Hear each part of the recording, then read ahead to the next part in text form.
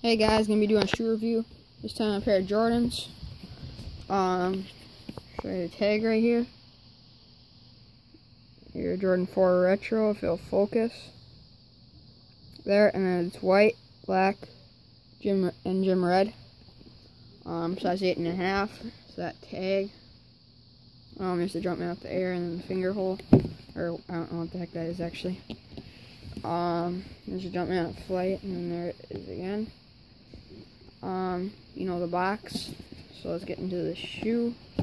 Try not to show it. Um, so yeah, I picked this up at my local mall today. Um, this is the day after release day on January 3rd.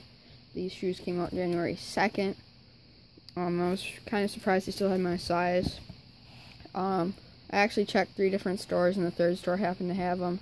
I checked Scheels, and the small size they had was 10 and a half. I was surprised Scheels had them. That was crazy. And then I went to Foot Locker.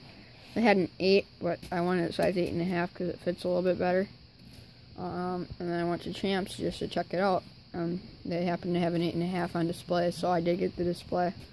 But it doesn't really matter because I like these shoes so much. I was going in looking for these shoes. Um, so yeah. There they are. Air Jordan full Air Jordan 4 alternate 89. Um, in my opinion, these shoes are so dope. Um, I I wanted a pair of fours for a while now, and I thought this was a clean colorway, so I just really wanted to get it. Uh, you can see alternate 89 right there. Um, all over the specs of the shoe. Um, just a all white and red colorway. Um, but on the midsole right here, well not midsole, uh, the upper right here, it has tumbled leather. You can see there throughout the toe box too. And then has the Jumpman on the back. I don't care if it's this Nike or the Jumpman. I honestly don't care. Um, it has a kind of not really a sparkled. Well, it's a little bit sparkled, but it's more shiny. It looks sparkled on camera, but it's more of a shiny red right there. And the red net. Um, black Jumpman with light underneath. Um, has the air box right there. Um, red white and black bottom. Um, I'm probably just gonna wear these to school. Um, not as often as I wear my other shoes. Mm because I usually beat my shoes to crazy and I really don't want to beat these. Um, yeah, pretty sick shoe. I'll take both of them out so you can see.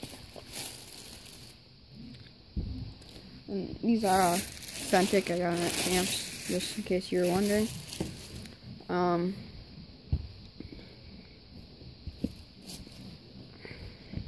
so there they both are. Um, as you can see, I tried them on at the store, see how they'd fit. There's the 190 right there. Um, it, I don't know.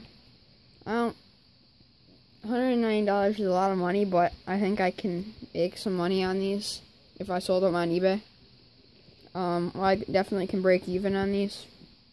Um, even if I wear them a couple times, I bet you I could sell them for 190 again.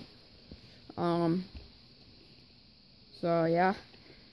And then it also does come with this hang tag, which I think is really sweet and a good touch to the shoe. Uh, I probably won't wear it with it on. I don't know.